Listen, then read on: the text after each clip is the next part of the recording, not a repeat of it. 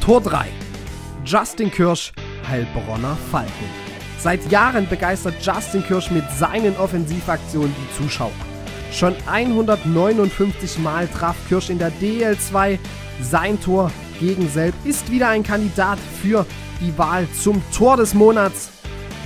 Kirsch vollendet die Aktion von Della Rovere per Direktabnahme zum 1 zu 0.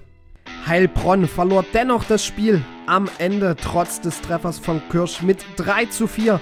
Dennoch liegen sie nach dem Monat November auf dem siebten Tabellenplatz mit Kurs Richtung Pre-Playoffs.